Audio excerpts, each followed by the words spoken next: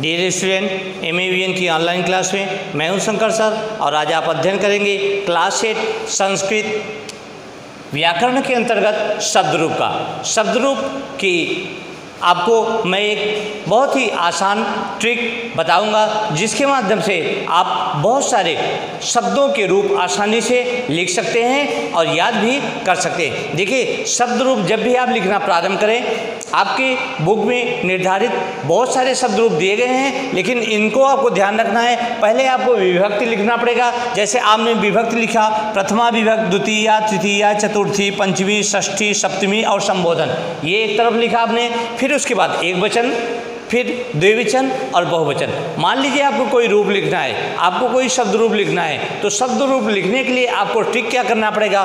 पहले प्रथमा में अह, द्वितीया में म में हलंत रहेगा, तृतीया में एन रहेगा, चतुर्थी में आय, पंचमी में आत, षष्ठी में अस्य सप्तमी में ए और संबोधन प्रथमा एक वचन का रूप जो होता है वो संबोधन में लिख दिया जाता है। चाहे द्विवचन का संबोधन हो, चाहे बहुवचन का संबोधन हो, सब में प्रथमा का जो रूप होता है, एक वचन द्विवचन और बहुवचन, जो प्रथम विभक्ति होगा, वो सभी संबोधन में सेम वही लिख दिया जाता है। देखिए, जो आपको कठिन लगेगा, वो एक वचन और बहुवचन बनाने में कठिन लगता है। द्विवचन के लिए कोई भी कठिनता नहीं होती, क्योंकि द्विवचन में आपके भी, आप देखेंगे कि दो चीज़ों का, जैसे यहाँ पर अव है और अव है, जो शब्द होगा, वो ये दोनों प्रथमा और द्वितीय, दोनों में अव अव हो जाएँगे, तृतीया, चतुर्थी और पंचमी में।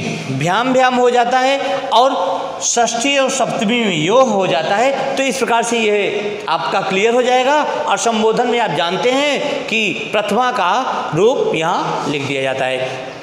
और बात करते हैं बहुवचन की तो बहुवचन में प्रथमा में आ होगा, द्वितीय में आन होगा, तृतीया में अय भी होता है और भी भी होता है। तो यहाँ आपको ध्यान रखना पड़ेगा, तृतीया में अय भी होता है और भी भी होता है। चौथी और पंचमी दोनों में भय भय होता है। षष्ठी में नाम, राम, शाम, इन तीनों में से जैसे शब्द आपके पढ़ेंगे, उन्हीं का प्रयोग यहाँ करना पड़ेगा, ये आपको ध्यान देना है।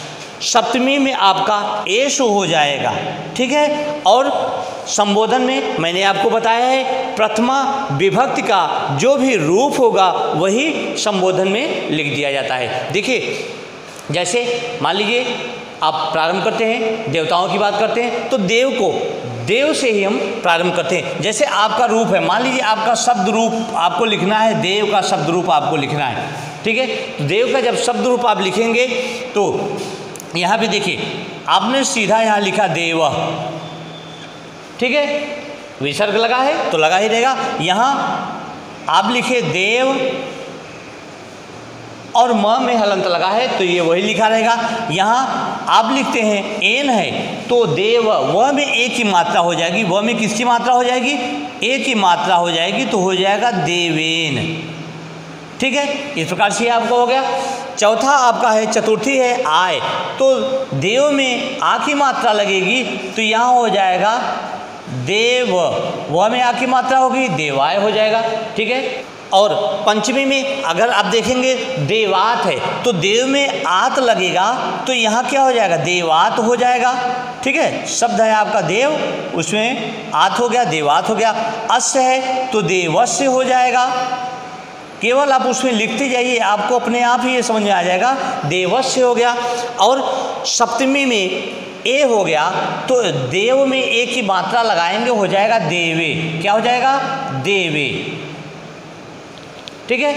ये आपका सप्तमी होगा और संबोधन में मैंने आपको बताया था प्रथमा विभक्ति का जो एक वचन, द्विवचन, बहुवचन, जैसे वचनों में चल रहा है। तो एक वचन में चल रहा है तो प्रथमा विभक्ति का ये रूप हो जाएगा यहाँ। तो यहाँ क्या है? देवा है तो यहाँ हो जाएगा, देव हो जाएगा।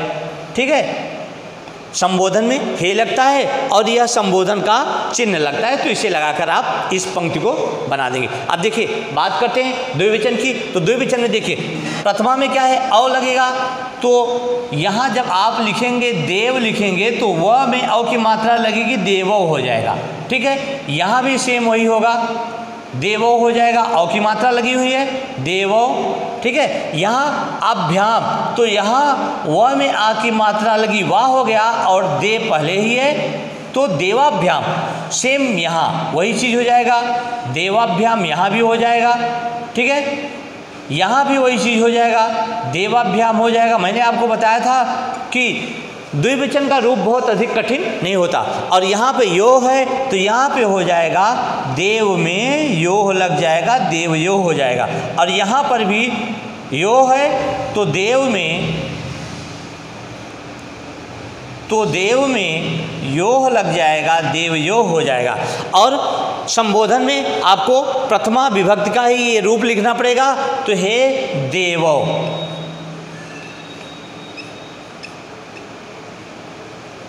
तो इस प्रकार से आपका द्विवचन का रूप भी तैयार हो गया। अब बात करते हैं बहुवचन में। तो देखिए, यहाँ आ है तो सब आपका है, देव का रूप चल रहा है तो यहाँ हो जाएगा देवाह ठीक है?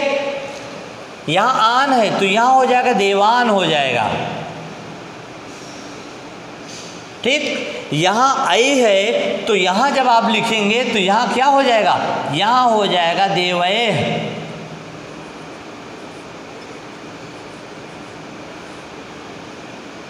देवई फिर चलता है। जब रूप जैसा होगा, वैसा लिखा जाएगा तो देवे हो गया। यहाँ क्या हो जाएगा? यहाँ, और चतुर्थी विभक्ति में यहाँ क्या हो जाएगा? यहाँ भय है तो हो जाएगा देवेभ्य। क्या हो जाएगा? देवेभ्य। यहाँ भी वही चीज़ हो जाएगा, पंचमी में भी, बहुवचन में देवेभ्य। और षष्ठी में मैंने भी आपको बताया था, नाम राम शाम। तो यहाँ क्या हो जाएगा? यहाँ हो जाएगा, देवा नाम हो जाएगा। क्या हो जाएगा? देवा नाम।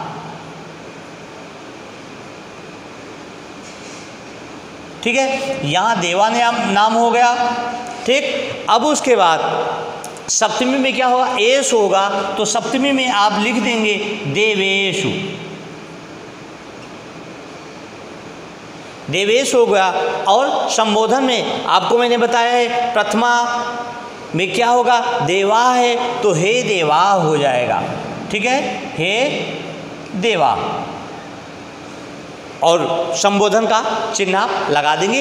इस प्रकार से आप आसानी से किसी भी शब्द रूप को आप स्ट्रिक के साथ आप ध्यान कर सकते हैं, उसको लिख सकते हैं। अब देखिए, ये तो हुआ लिखने का तरीका। अब बात करते हैं याद करने का तरीका। ज़्यादातर बच्चे क्या करते हैं? विभक्ति में चलते हैं। प्रथमा विभक्ति का इस प्रकार से वो रखते हैं। देव, देवो, देवा। जबकि वो भूल जाते हैं। भ्रम उनको होता है और वो भ्रमित हो जाते हैं और भूल जाते हैं। लेकिन मैं आपको एक तरीका बता रहा हूँ, जिसके द्वारा आप उसको पढ़िए और स्मरण कर सकते हैं। जैसे, आप जब भी विभक्ति में पढ़िए, प्रथमा, द्वितीय, तृतीय, चतुर्थी, पंचमी, षष्ठी, सप्तमी, संबोधन, एक वचन में पहले पढ़ लीजिए, उसके बाद द्विवचन में पढ़ लीजिए, फिर बहुवचन में पढ़ लीजिए। जैसे, एक वचन का रूप है, ध्यान दीजिए, एक वचन में पंक्तियाँ है। देव देव देवेन देवाय देवात देवस्य देवे देव। तो यहाँ पे आप देखेंगे, ये सभी पंक्तियों को आप आसानी से पढ़ सकते हैं। अब वहीं दो वचन की बात करते हैं। दो वचन में भी आप पढ़िए। देवो देवो, देवाभ्याम देवाभ्याम देवाभ्याम, देवयो देवयो हे देवो। यहाँ भी आप पढ़ सकते हैं और बहुवचन में रूप जब पढ़ेंगे, देवा, देवान देवैह देवेभ्य देवेभ्य देवानाम से देवा। देव देवम देवेन देवाय, देवात देवस्य देवे हे देव।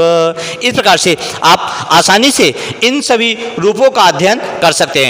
तो इस रूप में आप इन सभी का अध्ययन आसानी से कर सकते हैं। आपको लिखने में भी आसानी होगी, आपको पढ़ने और स्मरण याद करने में भी आसानी होगी। तो देखिए, ये तो हो गया आपका शब्द रूप अब इसी आधार पर अगर आप शब्द रूप बनाते हैं तो शब्द रूप में जैसे राम का रूप है, राम का शब्द रूप है, राम का शब्द रूप इसी ढंग से आप लिख सकते हैं। जैसे बालक का है बालक का शब्दरूप बालक का शब्दरूप भी आप इसी ढंग से लिख सकते हैं। जैसे छात्र है, छात्र का शब्द रूप भी इसी तरीके से आप लिख सकते हैं। जैसे शिष्य है, शिष्य का भी आप इसी तरीके से लिख सकते हैं। जैसे सूर्य है सूर्य का भी इसी तरीके से आप शब्द रूप लिख सकते हैं। तो बच्चों, आज की वीडियो में बस इतना ही। Thank you so much